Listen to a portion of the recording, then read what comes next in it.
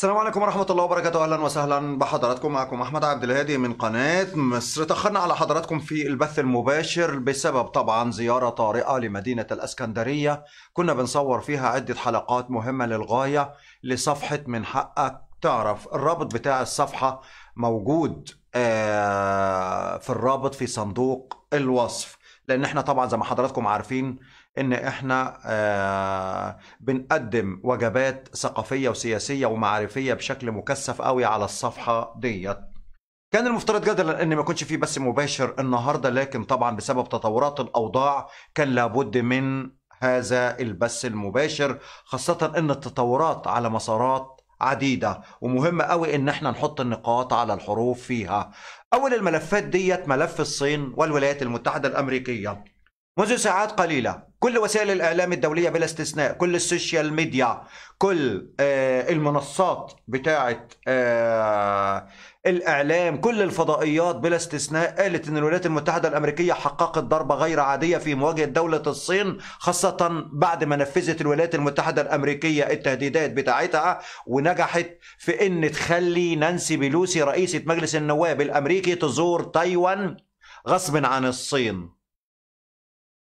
الكل تقريبا متفق على ذلك متفق على إن تم توجيه صفعة كبيرة للغاية ضد الصين إلا إحنا إلا قناة مصر. قلنا في حلقة منذ ساعات قليلة بالحرف الواحد بالعكس دولة الصين حققت انتصارات غير عادية وبل بالعكس حققت نجاح كاسح وانتصار كاسح في فرض سيطرتها وأمنها وإدارتها على جزيرة تايوان على المسار العسكري والاستراتيجي بشكل غير مسبوق بالتنسيق مع الولايات المتحدة الأمريكية في صفقة عقدت من تحت. الشكل المباشر العام أمريكا انتصرت فرضت سيادتها قالت للعالم إن هي لا زالت السيد الآمر المطاع بينما الحقيقة يا سادة على مستوى الاستراتيجية وعلى المستوى السياسي الحقيقي وعلى المستوى المكاسب الحقيقية دولة الصين هي التي حققت مكاسب أفضل من أمريكا. تخيلوا. طبعا الكلام ده إحنا قلناه بالأمس بينما الناس هجمتنا وقالوا لا لا لا ده أنت التحليل بتاعك المره دي أساسا فشوش وفشنج أنت كده ثبت إنك أنت ما أنتش فاهم حاجة. لا حضراتكم إحنا اللي دايما بنسبق كل وسائل الإعلام الدولية في تحليل الأحداث بشكل منطقي وعقلاني تماما.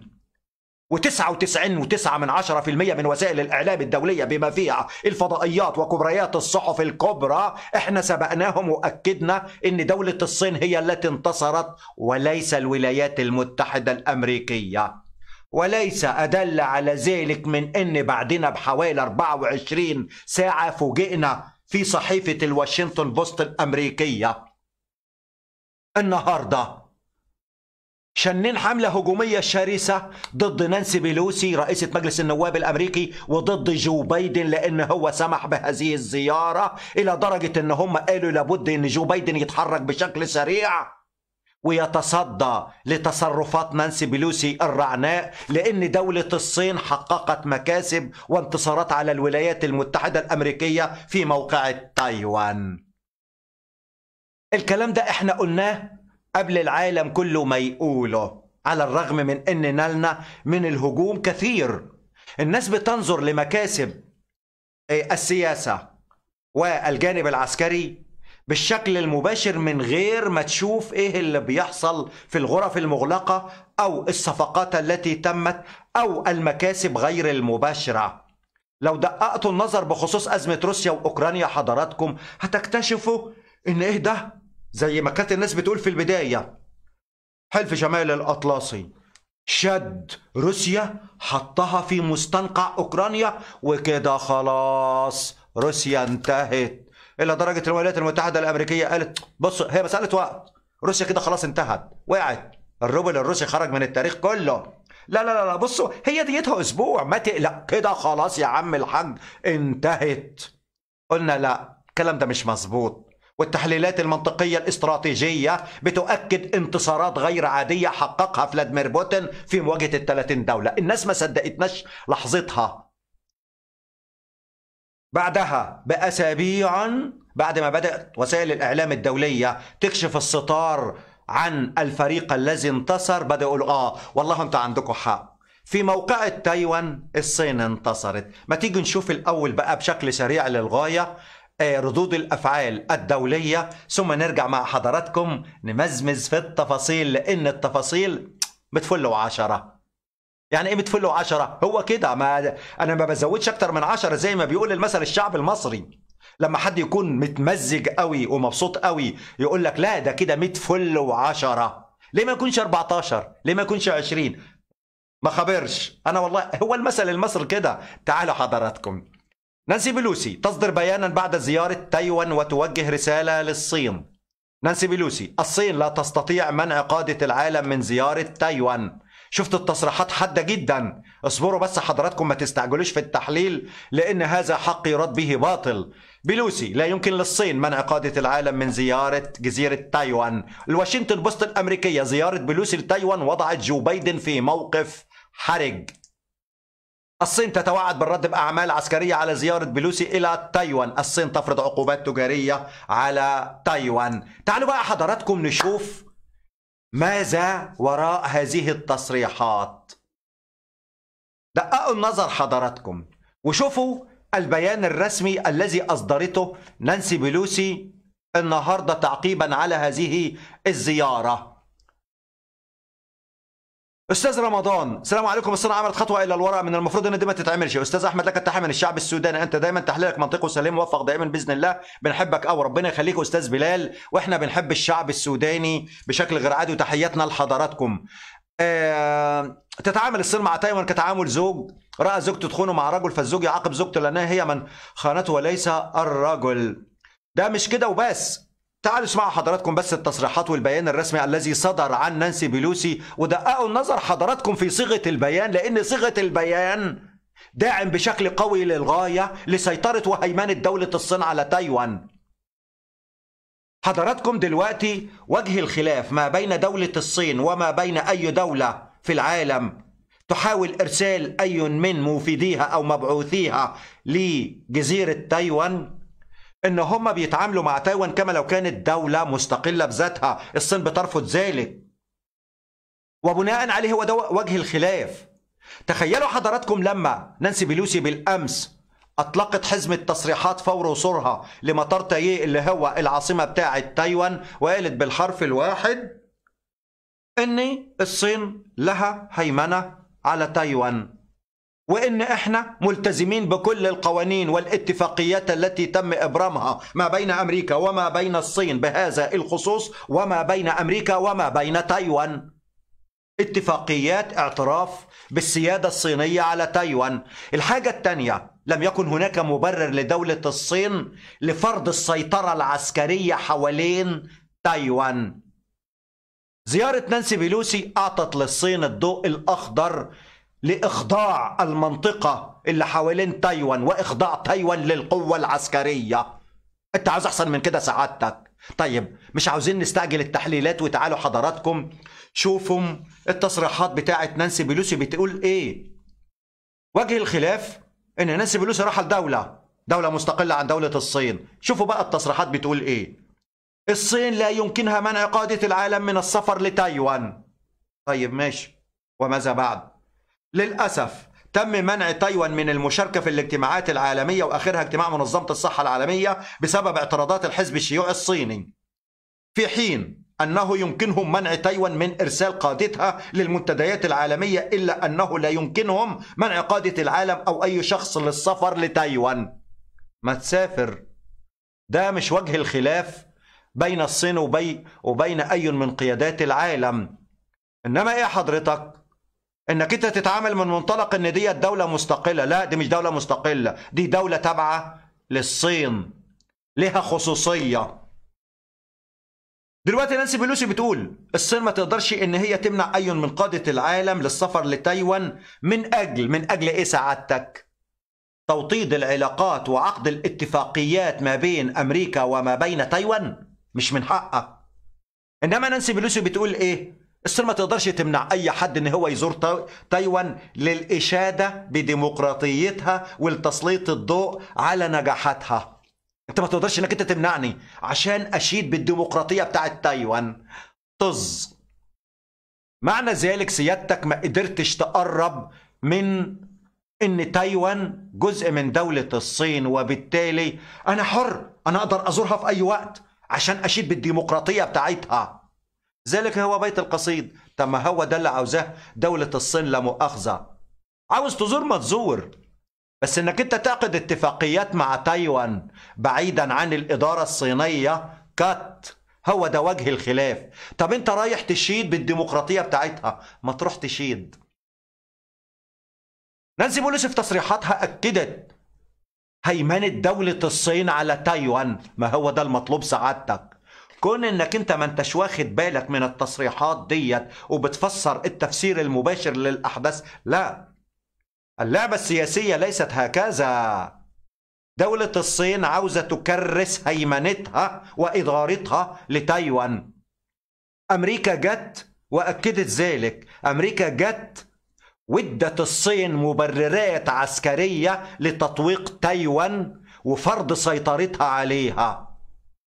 الصين لو حاولت تعمل ده قبل زيارة نانسي بيلوسي لم يكن هناك مبرر وبالتالي هناك اتفاقيات ما بين الصين وما بين إدارة تايوان عكس كل ذلك. ومن ثم أنت أعطيت المبرر للتطويق وفرض السيطرة الصينية بالإضافة إلى أن نانسي بيلوسي في تصريحاتها أكدت هيمنة الصين على جزيرة تايوان. كون أنك أنت ما أنتش واخد بالك من الحاجات ديت؟ لا. ذاكر كويس. شوفوا بقى التصريحات التانية بتقول إيه. يجب أن ينظر إلى زيارة وفد الكونجرس على أنها تعبير قوي على أن أمريكا تقف إلى جانب تايوان. لقد جئنا إلى هنا هنا للاستماع والتعلم وإظهار دعمنا لتطورات موجودة في قلب تايوان. طز. حلو جدا. تصريحات في شنك التصريحات أساسا داعمة. لدولة الصين. يعني تخيل حضرتك وهو ده اللي إحنا قلناه في الحلقة بتاعت الأمس. وجه الخلاف بيني وبينك إنك أنت تتعامل مع جزيرة تايوان كما لو كانت دولة مستقلة بذاتها. وأنا مش هسمح لك بكده. لكن كون إنك أنت تيجي وتؤكد إدارة الصين لهذه الجزيرة وإن الصين فرض سيطرتها على هذه الجزيرة وإن إحنا ملتزمين باتفاقيات سابقة أبرمت في الثمانينات ما بين الولايات المتحدة الأمريكية وما بين الصين وما بين أمريكا وما بين جزيرة تايوان. وبناء عليه إحنا بنتعامل على هذا الأساس التصريحات كانت مباشرة لأول مرة من أمريكا بعد تصريحات وقحة وقليلة الأدب قبل الزيارة وبالتالي الزيارة كرست لهيمنة دولة الصين على الجزيرة.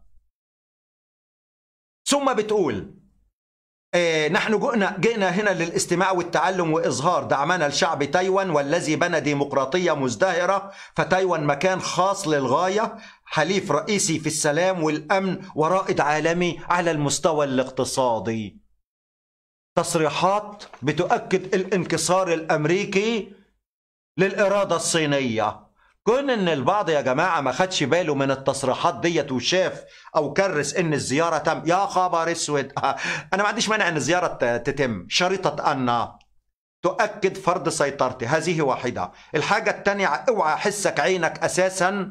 تقول لي تلت التلاتة كام عندما أقوم بفرض إرادتي العسكرية والأسطول آه، الصيني يفرض سيطرته على المياه المحيطة بتايوان وفي ذات الوقت.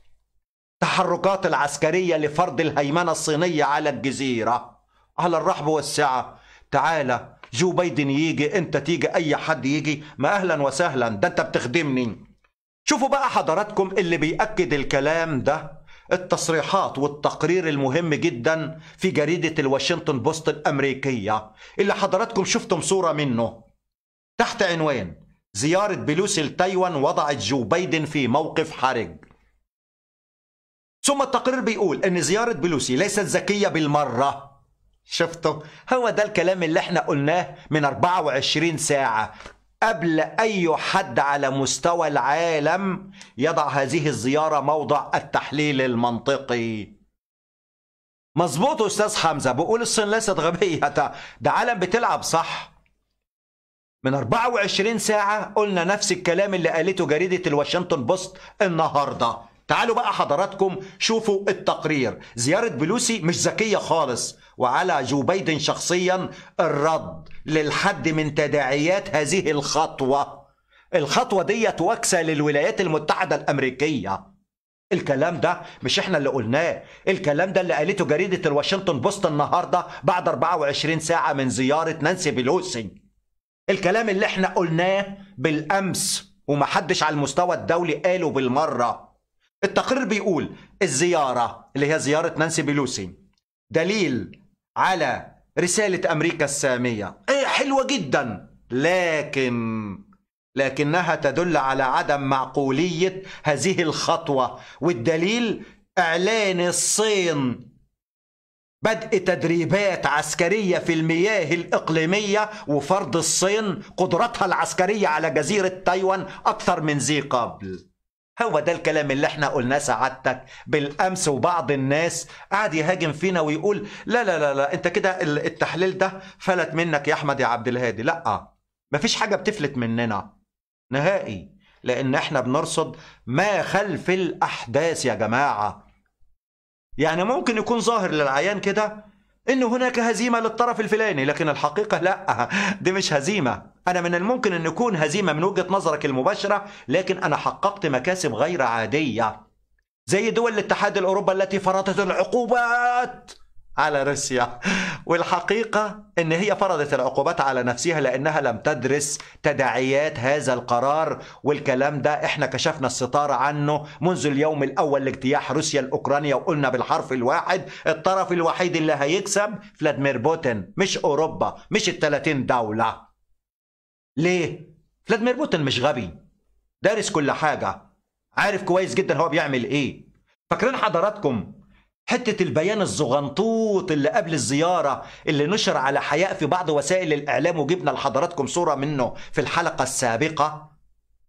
وزارة الخارجية الصينية قالت إن هي تواصلت مع الولايات المتحدة الأمريكية ونسقت لهذه الزيارة ونؤكد على إن أمريكا تلتزم بما تم الاتفاق عليه إيه بقى سعادتك؟ اتفاق إيه؟ وأنتوا اتفقتوا على إيه؟ ليس كل ما يحدث يعلن هكذا في عالم السياسة ونظرا لأن إحنا شرفنا برئاسة حزب شباب مصر طوال السنوات الماضية ومارسنا السياسة على المستوى المحلي والمستوى الإقليمي والمستوى الدولي وتباحثنا مع الكثير من قيادات العالم بهذا الخصوص فاحنا عارفين ان السياسة بشكلها المباشر حاجة والسياسة بشكلها غير المباشر شيء آخر. سيادتك ما تتوقفش عند أطر السياسة المباشرة فقط أنت توقف ما خلف الأحداث. حلل كل جزئية. ده بقى كإعلامي بالإضافة إلى الشغل السياسي. حلل كل حاجة ما تتوقفش عند التصريحات المباشرة. التصريح والبيان بتاع وزارة الخارجية الصينية الذي تم الإعلان عنه واتهضم. يعني محدش خد باله منه في إطار الزيارة ومتابعتها والكلام ده كله. دولة الصين قالت نتمنى التزام الولايات المتحدة الأمريكية بعد طبعا الاتفاق للتنسيق من أجل هذه الزيارة. تم الاتفاق؟ ونتمنى من الولايات المتحدة الأمريكية أن هي تلتزم بأطر ما تم الاتفاق عليه. ده خبر اتحط في النص ومحدش خد باله منه. هو ده اللي بيؤكد صدق وجهة نظرنا. يعني جريدة الواشنطن بوست أيضا بتقول إن نانسي بيلوسي تصرفت بشكل غير حكيم حيث أصبح من الصعب عليها تغيير الخطط دون الإضرار بسمعتها ووضعت جو بايدن في موقف حرج. نتائج الزيارة بتاعت نانسي بيلوسي ارتدت على الولايات المتحدة الأمريكية وما عادتش تقدر تغير الخطط بتاعتها وبالتالي وضعت بايدن في موقف حرج. الله! مش بعض الناس بتقول إن الولايات المتحدة الأمريكية هي اللي كسبت؟ لا سعادتك. راجع تقرير الواشنطن بوست اللي قال أيضا سيكون من الأفضل أن يقوم جو بايدن بإخبار نانسي بلوسي وجها لوجهه شخصيا وبلا لبس أن هذا الفعل مرفوض. هذه الزيارة مرفوضة. لسعادتك أنت اديت دولة الصين المبررات الكبرى لفرض تطويق وفرض إرادتها وسيطرتها على المستوى العسكري؟ على تايوان والمياه الإقليمية المحيطة بتايوان وعلى مضيق تايوان وبدأت تتحكم في حاجات كتيرة جدا. الآن وبسبب تصرف نانسي بيلوسي ستضطر إدارة جو بايدن للرد واتخاذ مواقف أخرى. ده اللي قالته جريدة الواشنطن بوست. حضراتكم وده بيؤكد صدق وجهة نظرنا وتحليلنا عكس كل ما نشر على السوشيال ميديا عكس ما نشرته كل الفضائيات بلا استثناء. قلنا لا الصين هي اللي كسبت على الرغم من إن إحنا اتنفخنا بتعليقات وهجوم. ما بتفهموش يلا صفاتكم يلا نعاتكم يا ولاد 60 في 90 60 و90 ده يعني 5400 بتساوي 5400 هو ليه 60 في 90 ما أعرفش ورحمة ننتي ما اعرف. أنا لو كنت هعرف هقول. هما المصريين بيقولوا كده. ده ابن 60 في 90 بتقال على سبيل الاستحسان وتقال أيضا على سبيل الشتيمة. يعني أنت لو قلت الواحد يا ده أنت ابن 60 في 90 يخرب شورتك. أنت عملتها إزاي؟ ده استحسان إنك أنت ما أنتش مصدق. واحد تاني يقول إيه؟ أنت أنت مصدق كلام الراجل ده؟ ده ابن 60 في 90 يا عم الحاج. يعني معنى ذلك ده أساسا بيشتمه. فإحنا اتقال انه إحنا أولاد 60 في 90 على سبيل الاستحسان وعلى سبيل وعلى سبيل الهجوم. شكرا لمتابعتكم.